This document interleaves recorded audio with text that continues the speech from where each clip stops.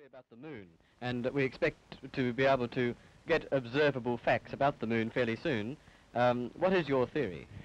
Well, uh, it is by now rather more than a theory. Uh, 10 or 11 years ago, I stated to various scientists that the moon is not a piece of rock, but it is a plasma, a plasma phenomenon, a cosmic plasma, uh, and that this fact will eventually be confirmed. I made certain predictions which were already confirmed in 1958, and the situation now is coming close to a complete confirmation.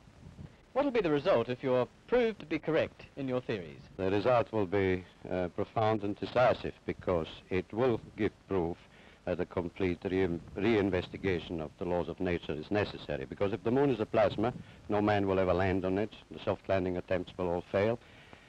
That means that the mass of the moon is less, far less than is currently assumed. It's in a different state of energy and it has far less mass. That means there is no more explanation for the tides. If the moon, for example, had only a thousandth part of its current mass, then the tides would only be two inches high under conventional theories instead of sometimes 14 feet. And that means that if it is proved that the moon is a plasma, then all gravitational theories are out and a new concept of the cosmos and of its laws has to be evolved.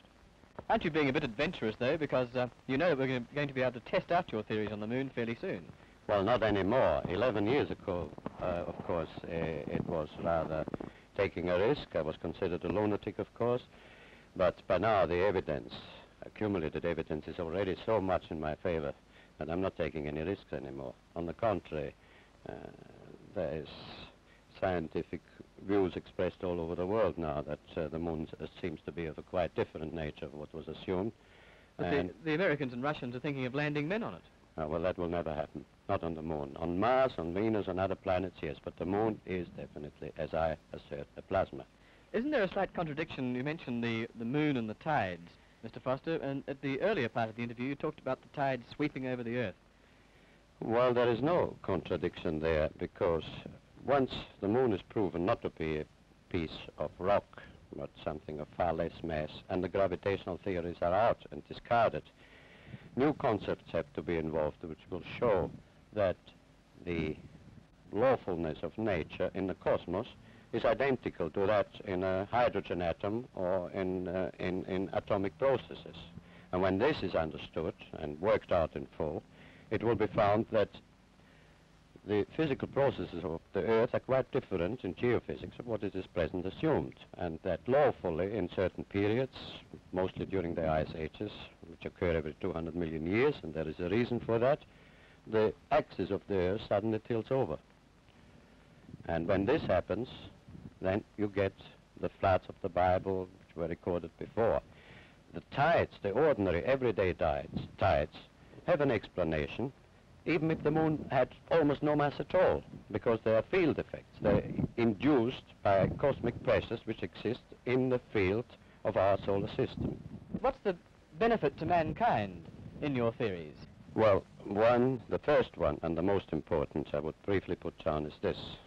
I think it is a new conception about the nature of the cosmic world and about the nature and the veracity of consciousness, conscience, of morality. At present, we have a glaring contradiction in the assertions of fundamental science.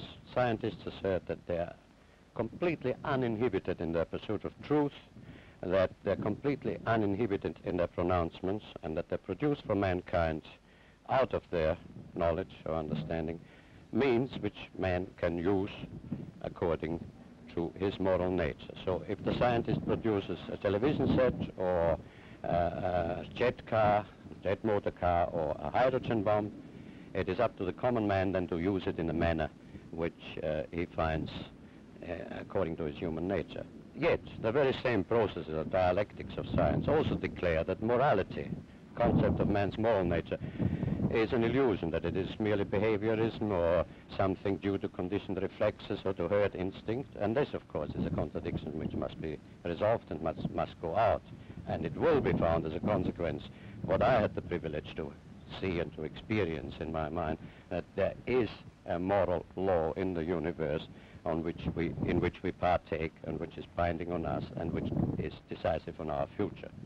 Now, in the practical aspects, when it is understood that the geophysical laws are quite different and that this uh, tipping over of the Earth axis has occurred often, suddenly in the past, and will occur again, if the new view is elaborated, and I will not live long enough anymore to do that, it will be understood that the speed of light is not a universal constant as it is now the foundation of science, that it's changeable.